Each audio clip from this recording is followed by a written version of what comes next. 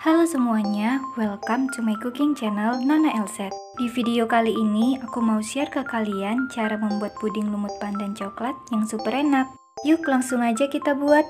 Pertama, kita akan membuat puding lumut pandan terlebih dahulu. Tuangkan 150 gram gula pasir, 1 bungkus agar-agar plain, seperempat sendok makan garam. Kemudian kita aduk merata. Setelah itu, masukkan 2 butir telur yang sudah dikocok lepas.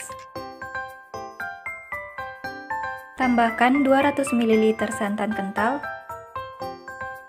dan 600 ml air. Kita aduk kembali. Lalu tambahkan setengah sendok makan vanila bubuk. Terakhir, masukkan setengah sendok makan pasta pandan. Aduk hingga semuanya tercampur rata.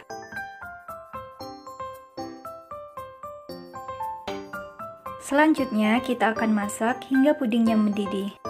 Catatan buat kalian, kalau mau lumutnya berukuran besar, ngaduknya jarang-jarang aja.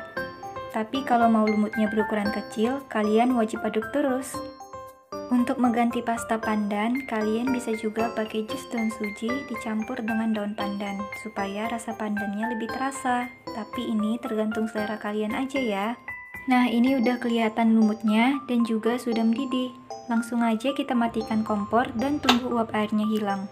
Setelah itu, kita tuang puding ke dalam cetakan dan tunggu hingga pudingnya agak mengeras. Tapi nggak mengeras seluruhnya ya, karena kita akan menuang puding coklat di atasnya.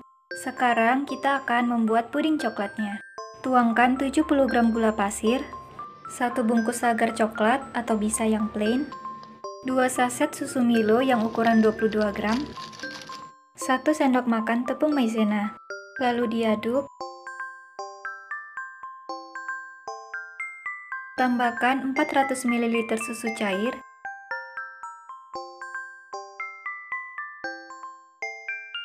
dan 50 gram dark coklat. Kemudian kita masak hingga mendidih dan mengental. Perlu diingat, bikin puding coklat ini wajib diaduk terus ya, supaya coklatnya nggak gosong.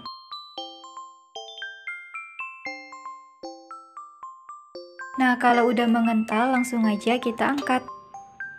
Sebelum tuang puding coklatnya, kalian pastikan dulu bagian atas puding lumutnya benar-benar udah mengering. Kalau udah, tuangkan sampai puding coklatnya habis.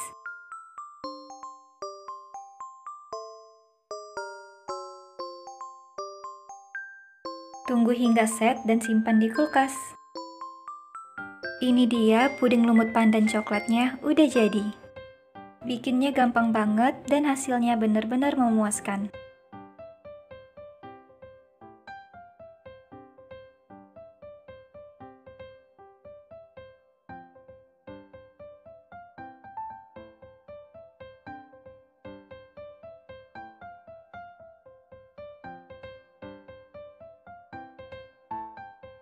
Bisa kalian lihat ini lumutnya kecil-kecil dan langsung aja aku cobain ya.